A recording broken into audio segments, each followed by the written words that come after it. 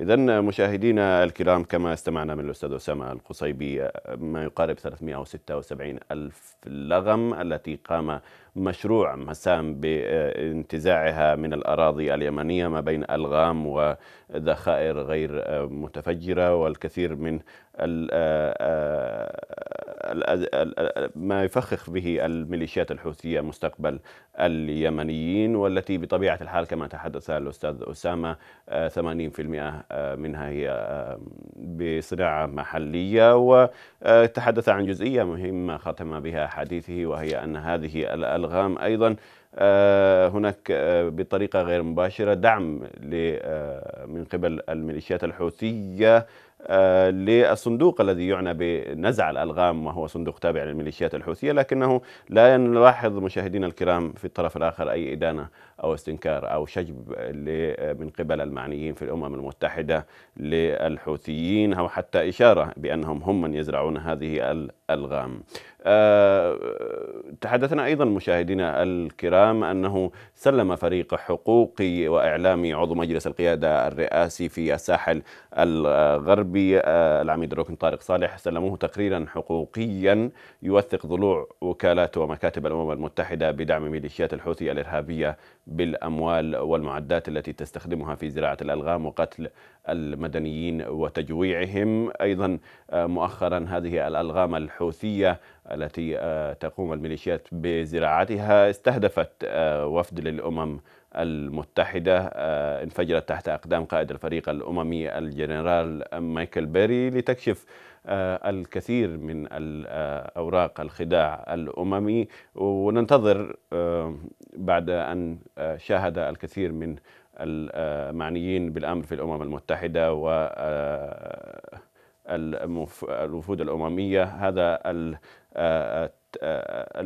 الألغام الحوثية التي تفخخ مستقبل اليمنيين وسط تواطؤ من قبل الأمم المتحدة. إذا هذه هي جريمة زراعة الألغام التي تستمر معنا لسنوات طويلة وربما أنها ستستمر لأجيال قادمة. هناك جهود حثيثة يقوم بها مشروع مركز الملك سلمان مشروع مسام لتطهير الأراضي اليمنية من الألغام. أيضا تحدثنا عن 376 ألف لغم وذخيرة متفجرة قاموا بنزعها.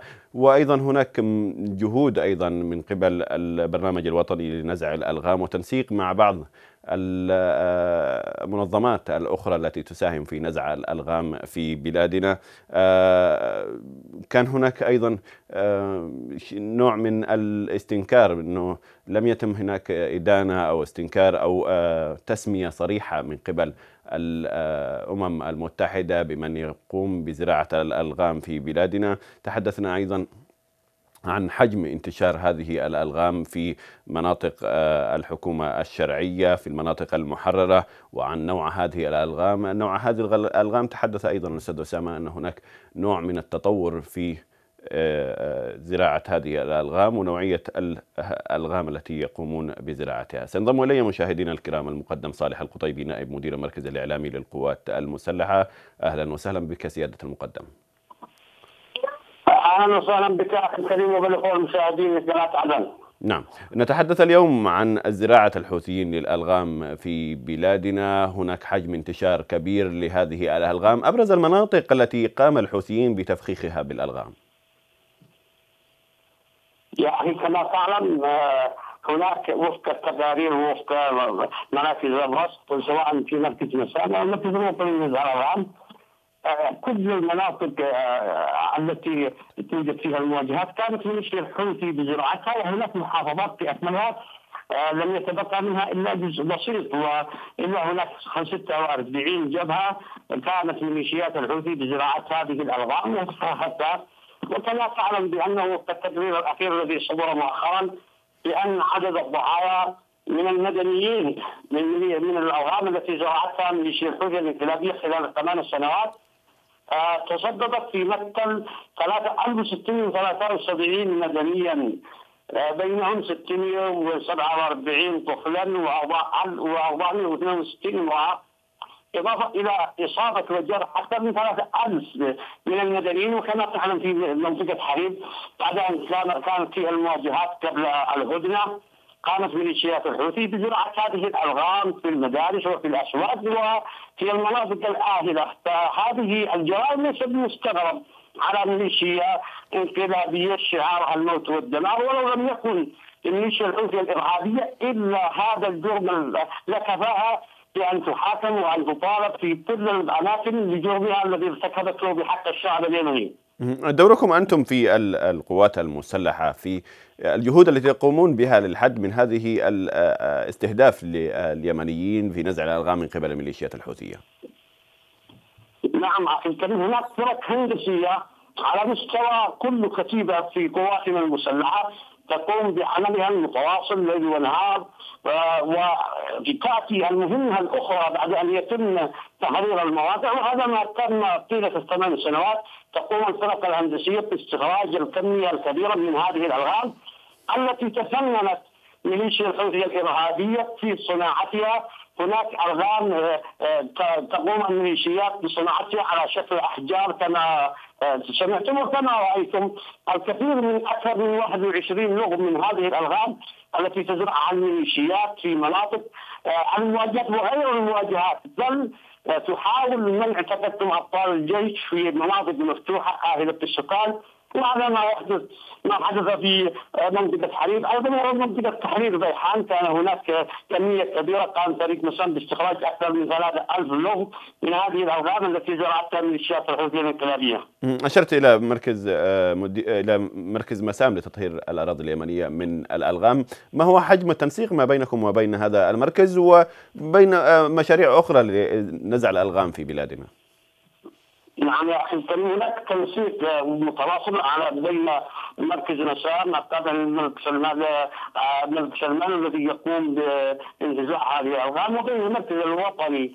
أيضا لنزع الالغام التواصل مستمر والتنسيق بينهم مستمر وجهود مبذولة ويتم توزيع المناطق فيما بينهم ويتم هذا ما رأيناه من خلال الألغام الكبيرة أيضا في منطقة الساحل وفي المناطق حتى في منطقة الضالع ومناطق تعز لعلك تسمع وترى لأن أكثر الضحايا من هؤلاء. حتى يا أخي في مناطق منهم هناك مناطق بعد أن عاد الناس إلى منازلهم التي كانوا قد تركوها. لذلك يراجعون بأن الألغام كانت تزرع في أثناء البيوت وفي مزارع الناس. حتى بل في المراكز التعليمية وفي المدارس هناك ألغام زرعت وتم اصابه أكثر من المدنيين بعد أن وصلوا إلى هذه المناطق فلا بد أن هذه جريمة يدعو من خلال قناة عدم المنظمات الحقوقيه والمجتمع الدولي والمنظمات التي تعني حقوق الإنسان. بان تقف يعني وليا على التقارير التي تصدرها المنظمات العامه في اليمن. وهناك تقارير كثيرة ومراكز كثيرة تقوم برصد إحصائيات ويتابعوننا باستمرار. نزودهم بكل المعلومات التي تصل إلينا. من مركز الرصد التابع للقوات المسلحة نزودهم بالمعلومات الضحايا سواء كانوا عسكريين أو مدنيين وأكثر من يتم استهدافهم في المناطق السكنيه هم النساء والأطفال والمدنيين. في جانب الأمم المتحدة يعني لماذا تتهرب برأيك الأمم المتحدة من تسمية الحوثيين بطرف معرقل للسلام بناء على المعطيات التي نشاهدها في الميدان بزراعة الألغام بالكثير من التفاصيل. آه، للأسف الشديد الأمم المتحدة تكيل ما زالت حتى هذه اللحظة ونقولها بكل صراحة ما زالت تكيل بمكيالين. حيث تقوم بدعم ميليشيا الحوثي الانقلابيه بالسيارات التي تدعي بأنها سيارات لمكاتب الصحة أو ما إلى ذلك وبالمقابل تستخدمها ميليشيات الحوثي في زراعة الالغام آه، هناك أيضا ميليشيا الحوثي الانقلابيه هي من نقضت كل العهود ولم آه، تلتزم بأي بند وهذا ما صلح بالمبعوث الأممي أخيرا. بأنها هي من تماطل في السلام لكن مع ذلك آه، لم نجد إلا ادانات ضعيفة وواهيه ولكن ندعو من خلال من خلال قناتكم أيضا المجتمع الدولي بأنه لا سلام لأن ولا استقرار لليمن والمنطقة ولدول الجوار والخط المنحة الدولي إلا بعد الحسم العسكري مع هذه الميليشيات. وان تقف والضغط عليها إذا لم ترعوي إلى السلام العام وفق المرجعيات الثلاث فلا بد الحسم على أنها ميليشيات ما هي إلا أجندة لإيران تنفذ ما يمنع عليها. المقدم صالح القطيبي نائب مدير المركز الإعلامي للقوات المسلحة شكرا جزيلا لك.